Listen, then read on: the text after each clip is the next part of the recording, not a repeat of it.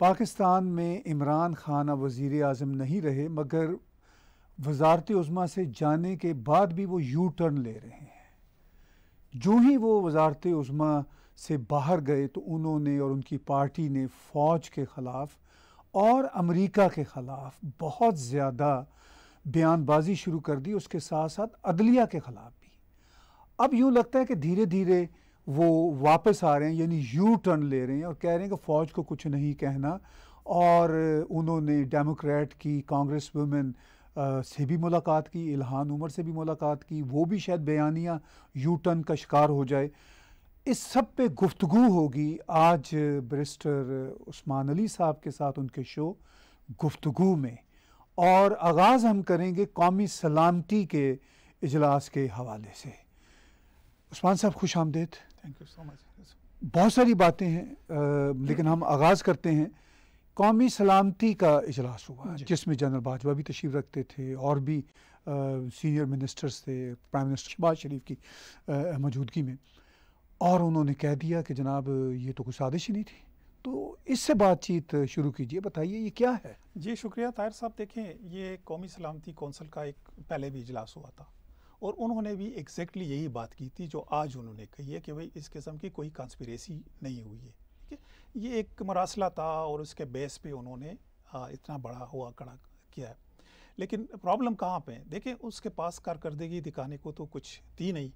जब उसके खिलाफ वोट ऑफ़ नो कॉन्फिडेंस आई और ये काफ़ी अरसे से ये कोई एक दो महीने की कहानी नहीं है, ये कब से ये चीज़ चली आ रही थी? जब पीडीएम बनी तो उनका ये था कि असम्बलियों से इस्तीफ़ा देंगे पीपल्स पार्टी का ये था कि नहीं प्रॉपरली कॉन्स्टिट्यूशनल तरीके से, एक अदम अतमाद की तहरीक लाते हैं और उसको निकालते हैं उस तरीके से। ये बातचीत और ये सारी चीज़ें चलती रही थी। आखिर में जब ये मेच्योरिटी पे आया तो उन्होंने अदम अतमाद की तहरीक पेश कर दी। अच्छा आप उसके पहले देखें, इसके स्टेट्स में देखें कि ये तो मेरी दुआ कबूल हो गई है रोज़ ये उनके जो मिनिस्टर्स थे, वो ताने देते थे कि ये कब, क्यों नहीं ला रहे हैं, आज ले आए, कल ले आएँ। और जब वो ले आए तो उसके पास, और इसको ये भी पता चल गया कि अब मेरी हुकूमत बचने वाली नहीं है। तो कारकर्दगी तो उसके पास कोई थी नहीं। अब उसने क्या करना था? उसने यही कुछ ऐसा बयानिया जो कि हमेशा वो करता रहा है। एक कोई ऐसी चीज़ क्रिएट करनी थी आर्टिफिशियली कि जाके लोगों के पास जाके वो बताए। अच्छा वो उसने वो ख़त लहराया उसमें अपने जलसे में और लोगों को बताया कि चूँकि मेरे ख़िलाफ़ ये साजिश हो रही है। अच्छा उसके बावजूद भी वो अपनी हर किस्म की कोशिश करता रहा है कि अपनी हुकूमत को बचाए। लेकिन साथ साथ वो एक दूसरा बयानिया लेके चला है। कौमी सलामती कौंसल का इजलास हुआ, उन्होंने कह दिया है कि भाई, इस किस्म की कोई कॉन्स्परेसी नहीं हुई है। एक बात हुई होगी, एक प्राइवेट मीटिंग में या एक लंच पे एक हुई है, लेकिन उसका यह मतलब नहीं है कि कोई मुल्क किसी मुल्क के ख़िलाफ़ या किसी गवर्नमेंट के ख़िलाफ़ कोई कॉन्स्परेसी कर रहा है। तो वो उन्होंने कह दिया था। लेकिन वो ना मानो वाली बात है। अच्छा मैं इमरान की वो है जो सिचुएशन है, वो उस पेशेंट की तरह है, जो कि रोज़ सुबह उठ के ना पेट पकड़ के चला रहा होता था कि मेरे पेट में बिल्ली है। अब सबने समझाया कि देखो, पेट में बिल्ली नहीं होती, लेकिन जब वो नहीं समझा तो डॉक्टरों ने उसको लिटाया, उसको बेहोश कर दिया और उसको पटिया मटिया लगा के जब उसको होश में लाए तो सामने एक बिट्टी बिल्ली बिटाई और उसको कहा कि मुबारक को हाँ तुम्हारी बात सही थी। वो तुम्हारे पेट से वो बिल्ली निकल आई है। उसने बिल्ली की तरफ़ देख कर चला के कहा, नहीं नहीं नहीं, वो तो काली बिल्ली है, ये तो सफ़ेद है। तो वो एक चीज़ अगर आप नहीं माननी है आपने तो वो तो आपने नहीं मानी है। अब वो उसी पे अटका हुआ है कि नहीं, मेरे खिलाफ साजिश हुई है। अच्छा मैं ये कहता हूँ ताहिर साहब, अगर हम ये फ़र्ज़ कर ले कि अमेरिका पाकिस्तान का बहुत बड़ा दुश्मन है और वो पाकिस्तान की भलाई नहीं चाहता, वो पाकिस्तान में अनरेस्ट चाहता है, वो पाकिस्तान की तबाही चाहता है तो मेरे ख्याल में बला मुबालगा इमरान की जो तर्ज हुकूमत थी तो उसमें मेरे ख्याल में अमेरिका को उससे बेहतर कोई और शख्स नहीं मिल सकता था। उसने पूरी सोसाइटी को डिवाइड कर लिया है, उसने मुल्क की इकानमी का बेड़ा कर कर दिया है, उसने किसी चीज़ को भी, हर चीज़ में वो आइसोलेट होकर रह गए। इस वक्त पाकिस्तान जो इनकी हुकूमत में खड़ा था, बिल्कुल सारी दुनिया से आइसोलेटेड था। तो मेरे ख्याल में अगर किसी को किसी मुल्क से दुश्मनी है तो इससे बेहतर सिचुएशन तो उनके लिए नहीं हो सकती है। सी पैक क्या किया उसने उसने बाकी ममालिक के साथ उसके जो टर्म्स थे तो मेरे ख्याल में वो तो उनके लिए एक बेहतरीन चॉइस था कि वो उसी को रहने देते, ताकि मुल्क में अगर कोई चीज़ रही है तो उसका भी वो बेड़ा कर करके जाए। लेकिन कोई ऐसी बात थी नहीं। आज फिर सलामती कौंसल जो कौमी कौंसल था, उन्होंने कैटेगोरी के लिए कहा है। उस एम्बेसडर को भी बुलाया था, जिसका ये मरासला था। उसने भी वहाँ पे कह दिया और फिर उन्होंने एक एलामिया जारी किया है कि कोई जो है इस किस्म की कोई कंस्पिरेसी नहीं हुई है और ये एक जो पहले वाली बात थी तो वही बात है। अब वो नहीं मान रहा है तो उसका तो कोई इलाज ही नहीं है। वो काली बिल्ली है वो चाहे आप जितनी भी सफ़ेद बिल्लियाँ निकालें। देखिए कल का जो लाहौर में जलसा हुआ, उसमें इमरान खान ने ये जो इंटरनेशनल कॉन्स्परेसी थ्योरी का जो उसका नेरेटिव था, उस पर थोड़ा सा हाथ हल्का कर लिया, चूँकि उसको समझ आ गई है मैसेज मिल रहा है। मैंने इब्तदाइया में उस्मान साहब कहा कि ये यू टर्न ना लेंगे। इकतदार के अंदर भी यू टर्न लेते रहे इकतदार से बाहर भी यू टर्न लेंगे। और इन्होंने जब इनकी हुकूमत गई तो इनकी पार्टी ने इन्होंने ख़ुद जो अदलिया और फ़ौज के ख़िलाफ़ कैंपेन शुरू की जो सोशल मीडिया पे जैसा कि बहुत सारी तस्वीर भी जी, जी। लोगों ने देखी हम भी कुछ शेयर कर रहे हैं। तो इस सारी सूरत हाल में अब ये कह रहे हैं कि भाई फ़ौज के ख़िलाफ़ कोई बात नहीं करनी। इन्होंने एक वीडियो क्लिप इनका इस वक्त वायरल है जी, जो उनकी तकरीर से है सबने देखा। तो अब इनका ये कहना जबकि इनको सिर्फ़ फौज ने इतना ही कहा है कि अब हम आपके पीछे नहीं खड़े हम आपके ख़िलाफ़ भी नहीं है। तो इसके बावजूद जो इन्होंने एक जहरीली कैंपेन अदलिया के और इनके ख़िलाफ़ की तो आप क्या समझते हैं कि ये जो सूरत हाल है ये किस तरफ़ जाएगी? इसके साथ एक और मैं इस बात भी जोड़ना चाहूँगा कि जनरल बाजवा साहब ने कहा कि अवाम और फौज के बीच हम नहीं चाहते कि तफावत बढ़े। जी। अच्छा उनकी स्टेटमेंट के बाद इमरान खान अब ये कह रहे हैं कि जी हम फौज के साथ ही हैं। तो इन सारी बातों को कैसे जोड़ेंगे आप? जी जी तैर साहब देखें दो चीज़ें एक तो उनके कहने में और करने में बड़ा फ़र्क है। आज भी उसके जितने भी मीडिया मैनेजर्स हैं और जो भी मीडिया सोशल मीडिया उनको आ, कवर करते हैं वो आज भी फ़ौज और अदलिया के ख़िलाफ़ उसी तरह प्रोपेगेंडा कर रहे हैं जैसे कि वो पहले दिन से कर रहे थे। उनको गाली दे रहे हैं गलोच दे रहे हैं उनको जो जो अल, अल्फाज से याद करते हैं मेरे ख्याल में हम यहाँ पे कह नहीं सकते। तो वो कंपेन अपनी जगह पे अभी भी जारी है। वो एक तरफ़ तो लोगों को ये बावर करा रहे हैं कि हमें मुझे अमेरिका ने मेरे ख़िलाफ़ साजिश की है। दूसरी तरफ़ वो ये भी कह रहे हैं कि फ़ौज ने मेरे ख़िलाफ़ साजिश की है अमरीका के कहने पर ये जो उनका बयानिया है। और अदलिया ने भी उनके साथ मिल के ये किया है। अच्छा अब हकीकत क्या है? देखिए, जो आपने कहा कि जनरल बाजवा साहब ने कहा है कि फ़ौज और लोगों के बीच में गैप है, ये एक हकीकत है। और इसके पीछे पचहत्तर साल की कहानी है। ये कायद अजम मोहम्मद अली जिना के टाइम से शुरू हुआ है, वक्त से जब पाकिस्तान बना और जब कायद अजम ने पहले आर्मी चीफ को डिसमिस किया, उसके बाद ये कहानी चली आ रही है। उसके बाद जितने भी बेशुमार वाक़ आते हैं एक पूरी हिस्ट्री है। लेकिन कौमें इसी तरह बनती हैं और लोग इसी तरह रियलाइज़ करते हैं। एक स्टेज पे आके लोग रियलाइज़ कर लेते हैं कि ये चीज़ गलत है और एक, ये चीज़ सही है। अब अल्लाह करे कि ये आगे भी चले, लेकिन मैं ये समझता हूँ कि इस वक्त जनरल बाजवा की क़्यादत में फ़ौज ने एक चीज़ रियलाइज़ की।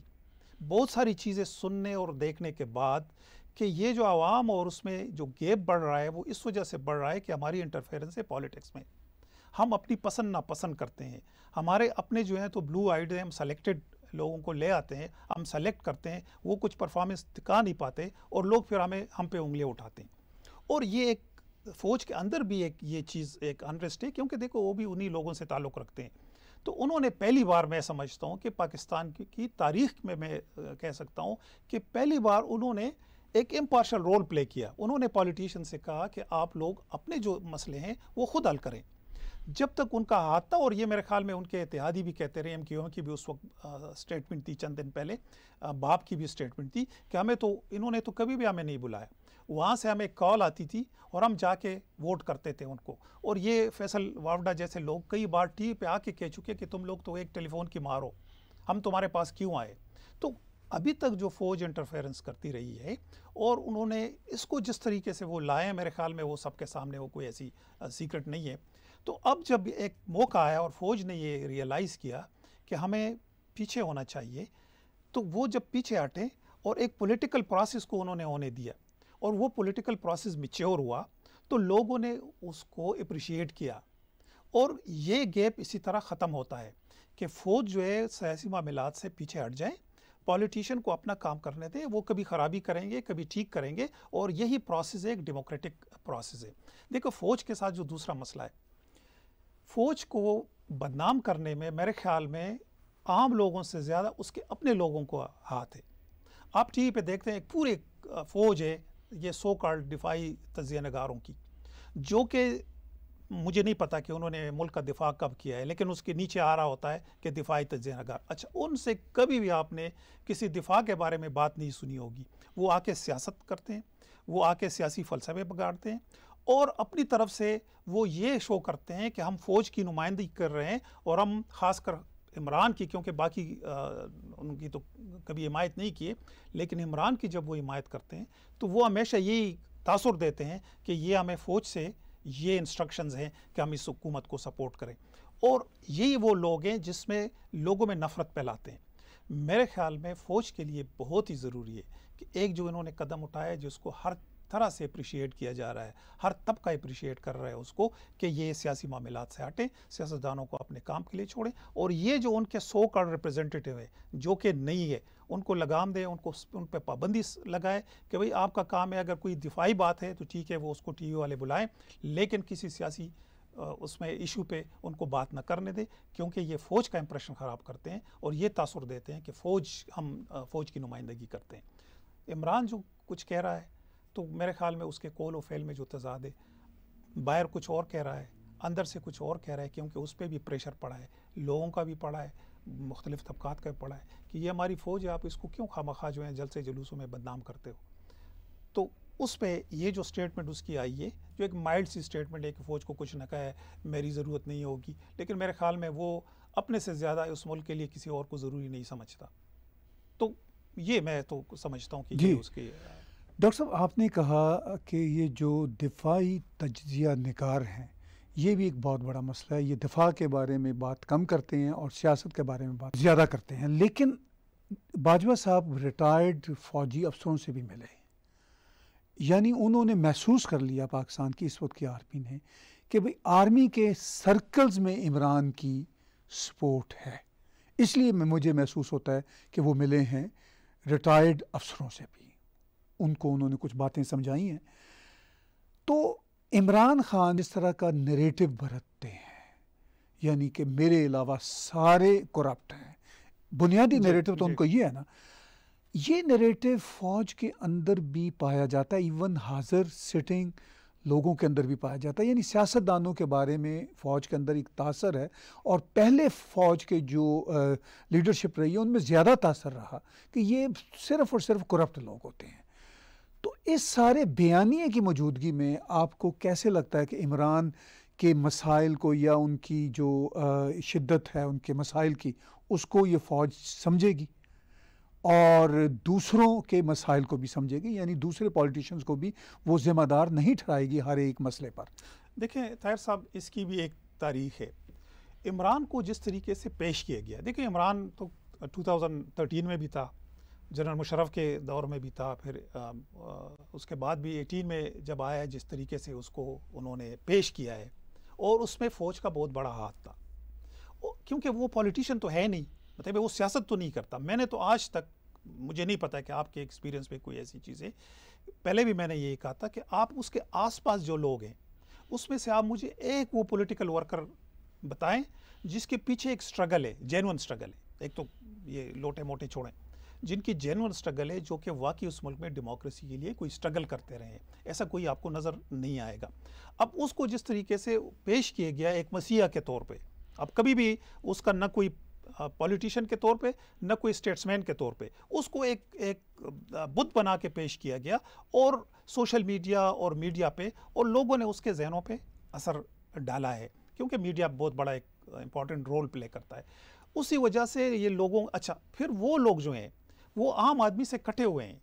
जो जर्नेल हैं कितने वो हैं जो जाके आम बाज़ार से वो ख़रीदारी करते हैं? कितने जो कि जाके यूटिलिटी स्टोर में, कतार में खड़े होते हैं? कितने जो जाके आटे की बोरी वो बाज़ार से उठाते हैं? उनको कुछ भी नहीं पता है। वो अपने उनके स्टोर्स हैं, उधर जाते हैं, उनको ठीक ठाक साफ़ सुथरी चीज़ मिल जाती है। उनको पता ही नहीं कि आम आदमी के मसाइल क्या हैं। तो उन, वो एक लीड क्लास है एक लिहाज से। हम उसकी बात करते हैं। जो जर्नेल इस वक्त बैठे हुए हैं, वो एक प्रिविलेज क्लास है। उनके बड़े बड़े घर हैं, उनके डीएचए में पाँच पाँच प्लाट्स हैं, उनको कुछ भी नहीं पता आम आदमी के मसाइल क्या हैं। तो वो अगर वहाँ पे बैठ के ये और करप्शन और ये बात करते हैं, मेरे ख्याल में अब बात दूसरी तरफ़ चली जाएगी, लेकिन उनके जो अपने रिकॉर्ड है, वो मेरे ख्याल में सबके सामने है। तो वो भी कोई ऐसे दूध के धुले हुए नहीं है। लेकिन चूँकि उनके जहन में एक चीज़ है कि बाकी दुनिया सारी करप्ट है, सिवाय हमारे और ये एक आदमी हमें मिला है जो कि वो ऐलान के उसके करप्शन की जो दास्तान है, जो अभी चीज़ें सामने आ रही है तो मेरे ख्याल में वो सारे तोबे पड़ेंगे, जो चीज़ें आहिस्ता आहिस्ता सामने आ रही है। मैं ये समझता हूँ कि वो लोग चूँकि उनका आम आदमी के नफ्स पे कोई हाथ नहीं है, वो आम आदमी से उसका इंटरेक्शन नहीं है, उस वजह से वो आम आदमी के मसला नहीं समझते। उस वजह से वो इमरान को सपोर्ट कर रहे हैं। यहाँ पे भी आपने देखा कनाडा में देखा अमेरिका में देखा उसके उस उनको क्या पता है कि वहाँ पे मेरे पख्तनख्वा के बाज़ार में क्या हो रहा है? वहाँ पे आपको असली दवाई नहीं मिल रही। जो दवाई सौ रुपये की थी वो आप हज़ार रुपये की मिल रही है। आपको क्या पता है उन लोगों के मसाइल क्या है? उन लोगों के मसाइल आपको तब पता चलेंगे जब आप उधर रहेंगे। तो जिन लोगों को अपने मसाइल का पता है वो उसके अगेंस्ट है। जिनको नहीं पता है उनके लिए एक, एक शो पीस सा है मैं समझता हूँ। उनके लिए एक ऐसी चीज़ है कि जो उसको एडमायर करते हैं और दुनिया में बेशुमार इस किस्म के करेक्टर रहे हैं। तो उनका मेरे ख्याल में मसला ये है उनका मसला सियासत नहीं है उनका मसला उस मुल्क का नहीं है। उस क्योंकि मुल्क पे जब भी कोई सख्त वक्त आया तो हमारी हिस्ट्री जो है तो कोई ऐसी आ, बहुत शानदार नहीं है इनकी जी बिल्कुल ठीक कह रहे हैं आप। जन बाजवा का ये कहना कि फ़ौज और आवाम के बीच कोई फासले नहीं बढ़ने चाहिए। दूसरी तरफ़ हम ये देखते हैं दूसरी तरफ़ कि अदलिया और आवाम के बीच भी फासले अब ज़्यादा देखने को मिल रहे हैं। इस तरफ़ इमरान खान की पार्टी का यू टर्न आप कैसे एक्सपेक्ट करते हैं? या इस जिम्न में हालात की बेहतरी कैसे हो सकती है? देखिए, ताहिर साहब, जैसे मैंने अर्ज़ किया कि फ़ौज और आवाम की एक लंबी हिस्ट्री है, जो 47 से चली आ रही एग्जैक्टली यही अदलिया का है। अदलिया ने भी आज तक जितने भी डिसीजंस दिए हैं तो वो हमेशा जमहूरीत के ख़िलाफ़ आए, जो आवाम के ख़िलाफ़ आए, और जितने भी मसाइल हमारे बढ़े हैं, वो अदलिया की ही वजह से बढ़े हैं। और ये मौली तमुद्दीन से लेके नज़र ज़रूरत और ये सारे फिर जितने भी बेशुमार वाक़ हुए हैं। फिर जो भी जजेज़ हैं, जो आज हिस्ट्री में उनका नाम जो है, यकीनन एक अच्छा नहीं लिया जाता, जिसमें बेशुमार है, कितने दुराब पटेल है इस मुल्क में? नहीं है। तो जो जिन्होंने, वो गिने चुने दो चार जजेज़ हैं जिन्होंने कोई ऐसे लैंडमार्क डिसीज़न दिए हैं या जिन्होंने अदलिया की उसके लिए काम किया है। बाकी तो आपको जो ये नशीम शाह नज़र आएगा, आपको चौधरी इफ्तार नज़र आएगा, आपको साकिब निसार जैसे जज नज़र आएँगे, जिन्होंने कि इवन चौधरी इफ्तार उस बेंच में मौजूद थे, जिन्होंने कि जनरल मुशरफ को ये इख्तियार भी दिया था कि आप आइन में अमेंडमेंट करें। और उसके बाद जो कुछ होता रहा है उस मुल्क के साथ तो लोगों में अच्छा फिर उन्होंने ये किया कि उन्होंने हर किसी के साथ किया। पीपल्स पार्टी के साथ किया, शहीद भुट्टो को फांसी चढ़ा दी। बाकी बेशुमार उनके अगेंस्ट करते रहे यूसुफ रज़ा गिलानी के अगेंस्ट जिस तरह की है फिर वो चीज़ मुस्लिम लीग के उसमें आए, साकिब निसार और ये कोसा वगैरह ने जो चीज़ मुस्लिम लीग के अगेंस्ट की है तो जितने भी पॉलिटिकल जेनवन पॉलिटिकल पार्टीज़ थी, उनके अगेंस्ट वो डिसीजंस देते रहे। तो लोगों में उनके खिलाफ जो एक बदतमादी की फ़िज़ा होती रही है। फिर इमरान के लिए उन्होंने जो फ़िज़ा बनाई थी, हाथ पाँव से पकड़ के बाँध के उन्होंने उनको नाअहल किया। कोई मामूली सी बात कर लेता था, अगले दिन जो है तो वो पाँच साल के लिए नाअहल हो जाता था।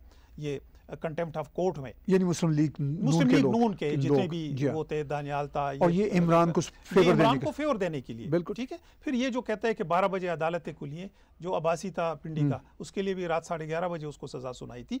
तो अदलिया ने अपना अतमाद पॉलिटिकल उसमें और आम लोगों में ये खो दिया था। फिर ये कि आम आदमी के जितने मसाइल है जितने केसेस है वो कोर्ट्स में सालों साल पड़े रहते हैं। तो एक गैप आया था।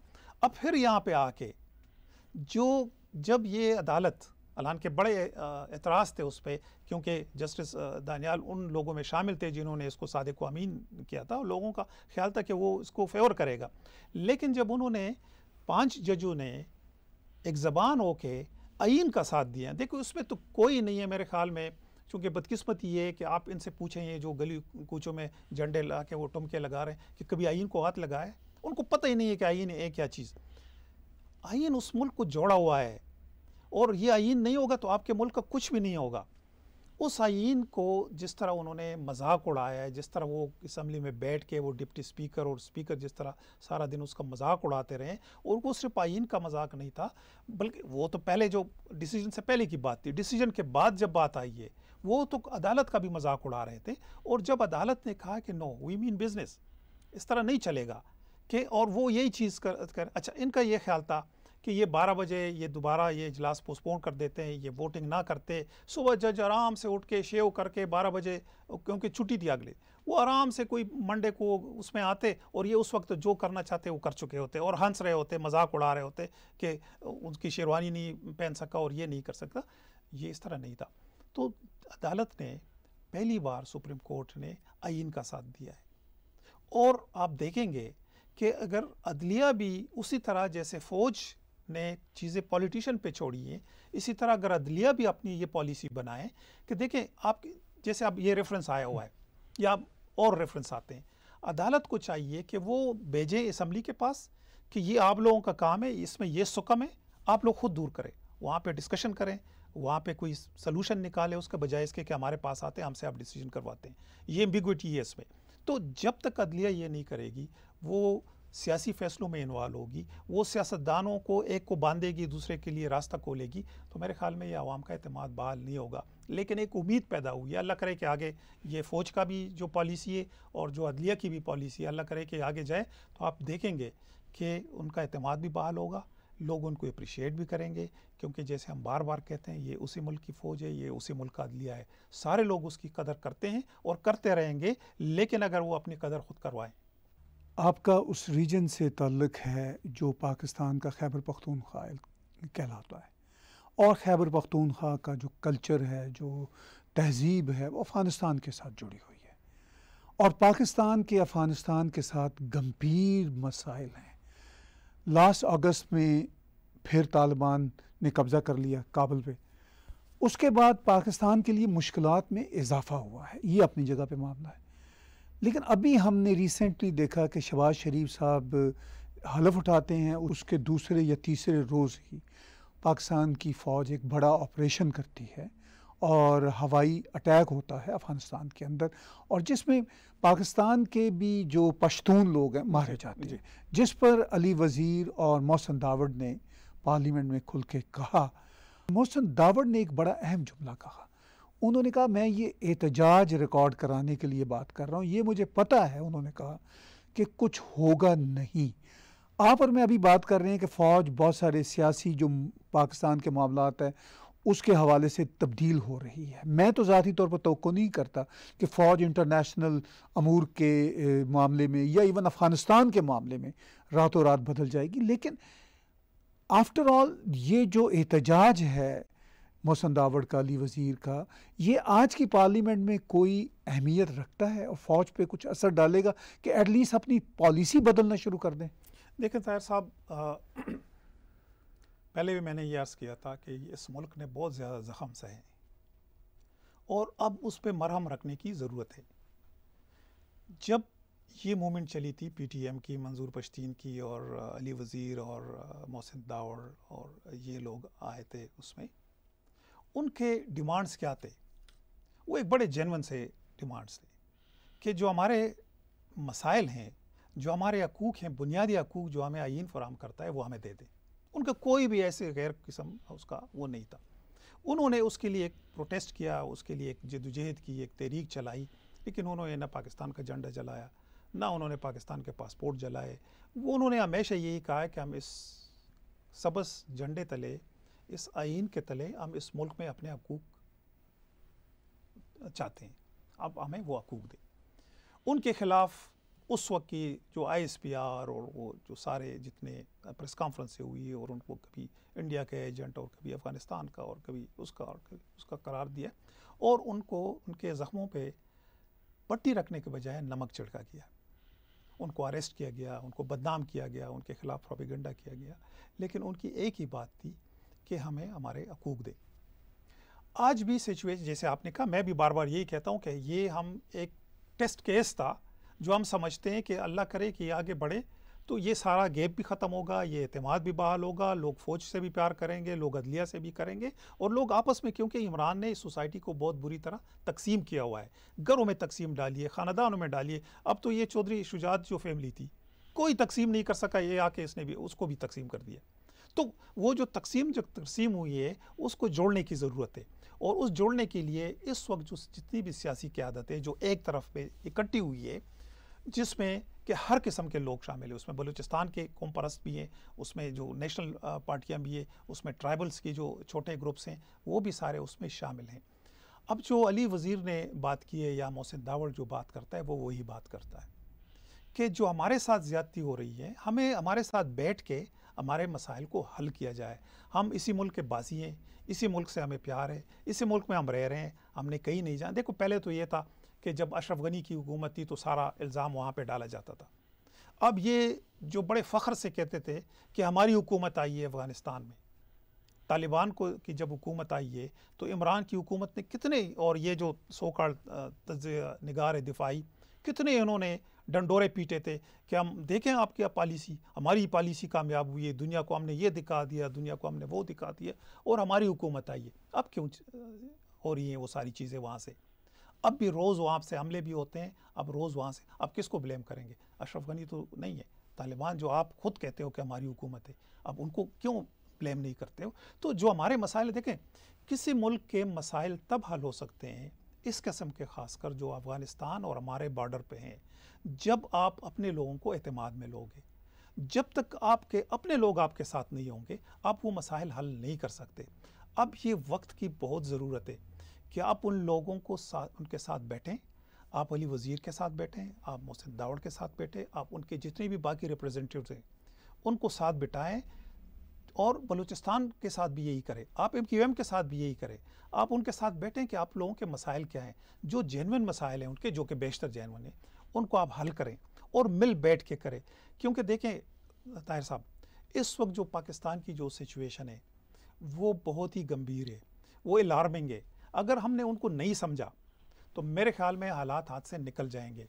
इस वक्त इसकी ज़रूरत है कि सारी पार्टियाँ आपस में बैठ के, फ़ौज भी उनके साथ बैठ के, अदलिया भी उनको साथ कॉन्फिडेंस में लेके और एक मिसाक जमहूरियत बनाए। और उस मुल्क की एक मिसाक बनाएँ कि इस मुल्क की दिफा के लिए एक मिसाक बनाए और आगे बढ़ें। तो मैं ये समझता हूँ कि उनकी एक जेनवन वो थी एक इंडिजिनस वो मूवमेंट थी और अभी भी है। तो मेरे ख्याल में उनके जो मसाइल हैं उनको अगर हल किया जाए तो कोई वजह नहीं है कि वहाँ से आ, लोग भी ना आ सकें। वो अपने लोग उसके देखो ट्राइबल में तो कभी भी फ़ौज नहीं थी। कायद अजम ने कहा था ये तो बग़ैर तनख्वाह की मेरी फ़ौज है। आज क्यों आपकी चार साढ़े चार लाख आर्मी वहाँ पे पड़ी हुई है? आप हालात उस तरफ़ ले गए हैं। वो ट्राइबल ने कभी भी किसी को उस रास्ते से आने नहीं दिया है। उसकी तारीख है आप। वो कभी भी उन्होंने किसी भी इन्वेडर को वहाँ से आने नहीं दिया लेकिन जब आपने ख़ुद उनको दीवार तक पुश किया, उनको जलील व रसवा कर दिया, उनको आई बनाया, चाहे वो मलक्कन डिवीज़न के लोग थे, चाहे वो इस वज़रिस्तान और उसके लोग थे, आपने उनको मजबूर कर दिया कि वो कतारों में खड़े होकर वो लोग, वो भीख मांगे। उनके ख़वान जो है, जो कभी घरों से नहीं निकली आपने उनको बेपर्दा करके निकाल दिया तो उनको आप क्या ज़रूरत है? उनको मरहम की ज़रूरत है। जब तक आप वो नहीं करोगे, आपके ये मसाइल हल नहीं होंगे। चाहे आप पॉलिटिक्स से पीछे हटे, चाहे क्योंकि ये बड़ी इंपॉर्टेंट चीज़ है। तो मैं समझता हूँ कि ये वक्त की अहम ज़रूरत है। देखिए, इसी सिचुएशन के साथ एक मेरा सवाल भी उभरता है और बहुत सारे लोगों का सवाल यहाँ पे है कि जो नरेटिव है फ़ौज और आवाम की दूरी के हवाले से, जो पीटीआई कहते हैं पीटीआई जो नरेटिव बनाते हैं कि जी ये गद्दार है। अच्छा पीटीएम का भी एक अपने ज़ख्मों की वजह से एक ऐसा ही नरेटिव रहा। वो गद्दार तो नहीं कहते थे फ़ौज को लेकिन वो ये कहते थे कि भाई हमारे साथ ज़्यादतियों के ज़िम्मेदार बनते हैं। तो इन दोनों के जो नरेटिव हैं यानी पीटीआई का नरेटिव जी। वर्सेस फ़ौज और पीटीएम का या उस जैसी कुतों का नरेटिव वर्सेस फौज आप उसमें क्या तफरीक महसूस करते ज़मीन आसमान का फ़र्क है तार साहब ज़मीन आसमान का फ़र्क है। पीटीआई का जब तक फ़ौज उसको सपोर्ट करती रही है सारे जैसे मैंने पहले अर्ज़ किया कि सबके हाथ पाँव बाँध के उसके लिए एक मैदान बनाया उसको इलेक्शन में लाया जब वो उसके बावजूद भी नहीं जीत सका और सारे लोग जमा करके उसके लिए लाए उसके बावजूद भी जब हुकूमत नहीं बन सकी तो सारे लोगों को पकड़ पकड़ के उसके साथ उनका एहतियात बनाया और उसको हुकूमत बना के दे दी और उसको बिटा दिया। और वो बेफिक्र हो के अपनी हुकूमत करता रहा है। जब भी कोई ऐसी चीज़ आती थी हुकूमत में तो फौज उसको कॉल करके और वो सबने मान लिया ये कोई ऐसी बात नहीं है सीक्रेट नहीं है। उनको फ़ोन करते थे कि जाओ इसके हक में वोट दो चाहे वो सेनेट का आदम अतमाद था सबको पकड़ पकड़ के ला के उनके आदम अतमाद नाकाम करवाया।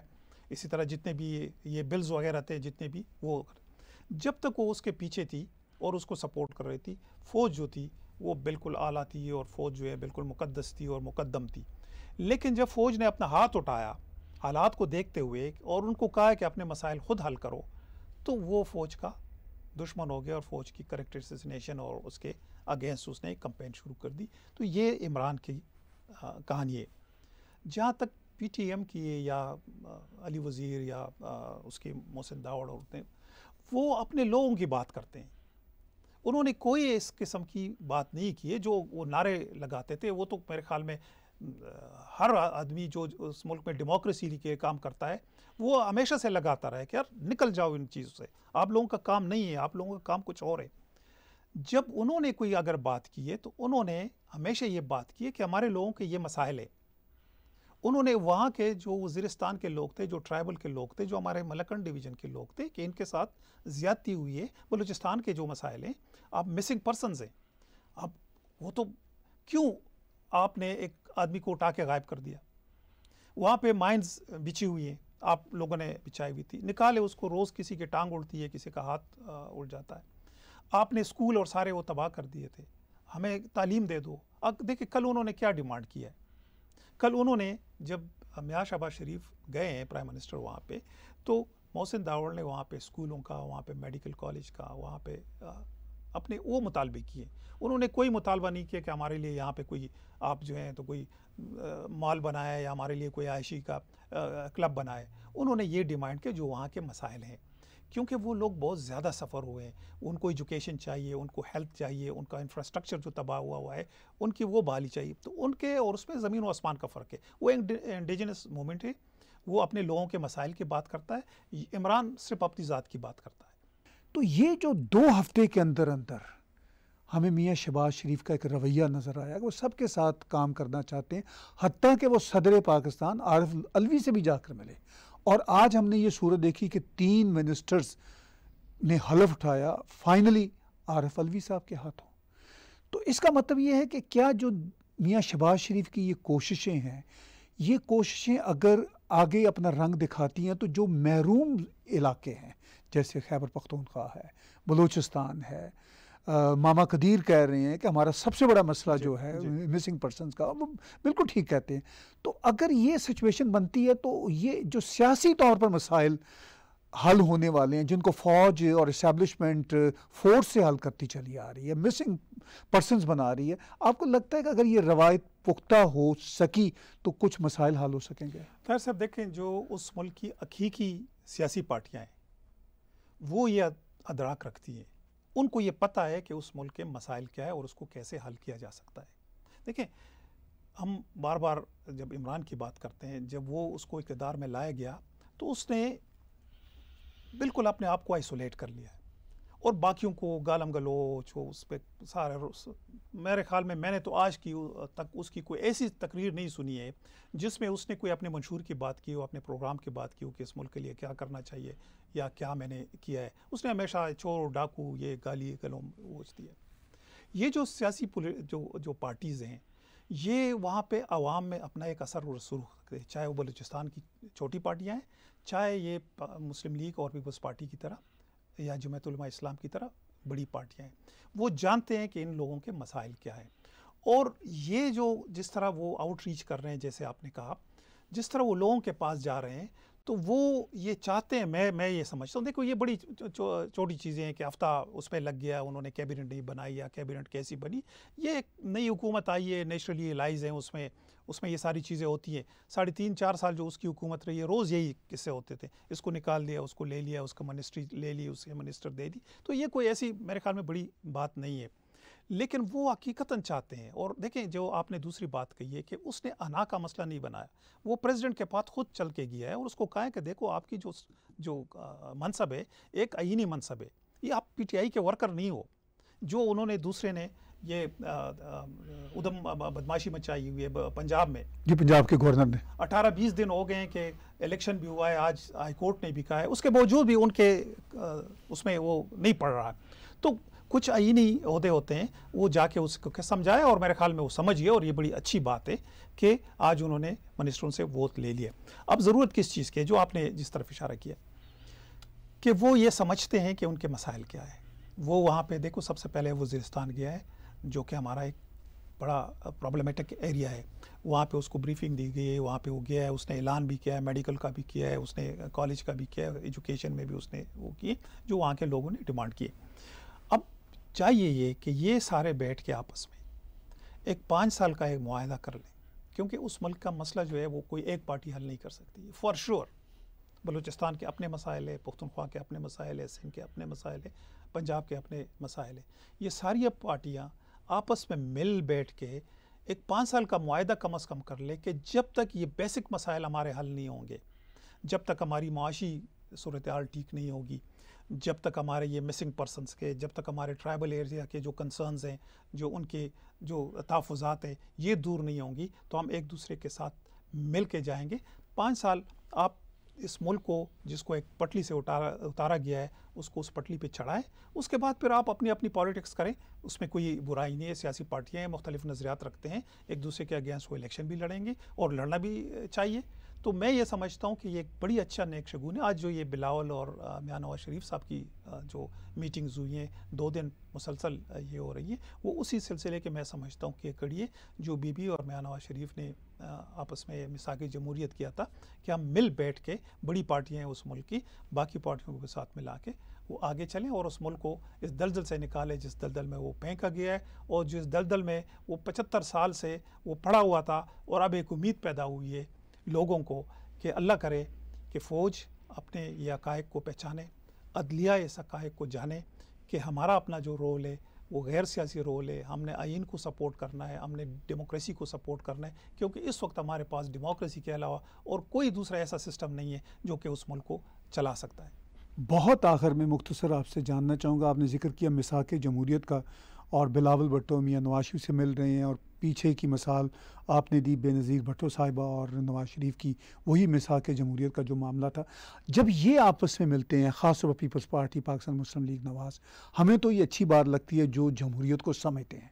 मगर फौरी तौर पर इमरान खान और उन जैसा माइंड सेट रखने वाले पाकिस्तान के मिलियंस लोग, ये इल्ज़ाम लगा देते हैं, देखिए जी, चोरों का टोला, मिल बैठा है अपनी चोरियों को तहफ़ देने के लिए। तो इस नरेटिव को आप कैसे हिट करना चाहेंगे? देखिए अब आ, मसला यही है ना कि अब हम आ, एक बयानिया उस मुल्क में बनाया गया है।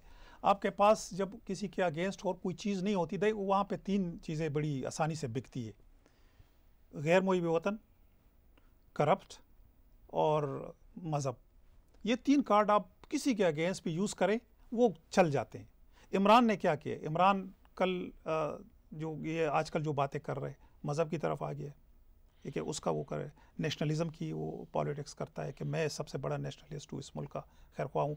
ये करप्ट है। हालाँकि इसके अपनी जो करप्शन है या उसके आसपास जितने भी लोग बैठे हुए थे, हकीकत जो करप्शन हुई हुई है, मेरे ख्याल में वो पिछली किसी हुकूमत में नहीं हुई। और हम, आप उसको छोड़ें, जो ट्रांसपेरेंसी इंटरनेशनल की रिपोर्ट है, अगर लोकल तो छोड़ें एक दूसरे पे इल्ज़ाम को तो वो मेरे ख्याल में एक बयानिया है वो अगर उस मुल्क का, देखें, जो इमरान किसी के साथ बैठने को तैयार नहीं था, आज उसके साथ भी कोई बैठने को तैयार नहीं है। क्योंकि वो गैप इतना बड़ा है। लेकिन उन पार्टियों ने अगर पॉलिटिक्स में एक दूसरे पे कोई इल्ज़ाम लगाए भी हैं, लेकिन उन्होंने वो एक जगह छोड़ दी थी कि कल हमने आपस में बैठना है। तो मेरे ख्याल में, देखें, अब जो ज़माना आगे जा रहा है, अब कोई करप्शन नहीं कर सकता। अब करेगा भी तो वो एक्सपोज होगा। वो छुपा नहीं सकता। माजी में किसी के अगेंस्ट आज तक कोई चीज़ साबित नहीं हुई है। मियाँ नवाज़ शरीफ के अगेंस्ट कितनी केसेस बने? कोई एक भी साबित नहीं कर सका। दिन रात लगे, झूठे, प्रेस कॉन्फ्रेंस से क्या क्या चीज़ें नहीं हुई। इसी तरह जरदारी, इसी तरह मौलाना फजल रहमान साहब, इस तरह बाकियों के। तो ये नेरेटिव एक बयानिया उन्होंने खड़ा किया हुआ है, क्योंकि आपके पास और तो कुछ है ही नहीं। कभी आप उसके उर्दू का मज़ाक उड़ाते हो, कभी आप उसके बालों का मज़ाक उड़ाते हो, कभी आप उसके जैकेट का मज़ाक उड़ाते हो। तो आपके पास और क्या है? आज नवाज़ शरीफ ने काफ़ी पी ली। काफ़ी पिएगा वो। आज उसने वॉक कर दी। आपके पास और कोई चीज़ है ही नहीं। तो मेरे ख्याल में वो चीज़ें बहुत कम माने रखती हैं। लोगों को ये चीज़ें समझ आती है। अगर वो मुल्क इसलिए पटली पे चढ़े, वो मुल्क तरक्की करे तो लोग मेरे ख्याल में खुद ब खुद ये बयान रिजेक्ट कर देंगे और वो आगे बढ़ेंगे। क्योंकि लोग यही चाहते हैं मेजॉरिटी लोग यही चाहते हैं। जैसे पिछले प्रोग्राम में आपने कहा था, इसके 27 परसेंट वोट थे सब कुछ के बावजूद आर टी एस बैठ गया, फौज की सपोर्ट थी मीडिया की सपोर्ट थी, अदलिया की सपोर्ट थी, बाकी जो 73 परसेंट जो वोट है, वो अपोजिशन पार्टियों के पास है। इसका मतलब है कि उन लोगों ने इसको रिजेक्ट किया था। तो अगर उन लोगों के मामले को उसको साथ लिया जाए तो मेरा नहीं ख्याल इसका कोई ऐसा, ये एक वक्ती सी उबार है जो कि बैठ जाएगा। पहले भी मैंने अर्ज़ किया था, कराची की दो करोड़ की पॉपुलेशन है, कितने लोग निकले थे जलसे में? लाहौर की तकरीबन एक करोड़ पैंतीस लाख पॉपुलेशन है। पिशावर की तकरीबन 42 लाख पॉपुलेशन कितने लोग उनमें से निकले थे? तो ये वक्ती गुबार होता है, ये हमने पोश बेशुमार ये पाकिस्तान के पॉलिटिक्स में चीज़ें देखी। दो चार महीने आपको नज़र भी नहीं आएगा ये ये इस किस्म की चीज़ें। बहुत शुक्रिया बिरसर उस्मान साहब, आपके वक्त देने का। व्यूज़ बातचीत सुन रहे थे आप बिरसर उस्मान अली साहब की, और उन्होंने अपने शो गुफ्तगु में पाकिस्तान की जो हालिया मौजूदा सियासी सूरत हाल है, उस पर भरपूर तरीके से रोशनी डाली। गुफ्तु का अगला शो अगले हफ़्ते लेकर आएँगे। टैग टीवी पर हमारे शोज़ देखते रहा करें और इसी यूट्यूब चैनल पर आप कंट्रीब्यूट के बटन को दबाएँगे तो आप हमें कंट्रीब्यूट भी पेपॉल के ज़रिए क्रेडिट कार्ड के ज़रिए और पेट्रियन के ज़रिए कर सकते हैं। इसके साथ साथ हमारा channel 24 four seven Apple Android Roku Amazon Fire पर अवेलेबल है। आप वहाँ पे देख सकते हैं आईपी बॉक्सेस में देख सकते हैं। आज का तबसरा देखने और सुनने का बहुत शुक्रिया।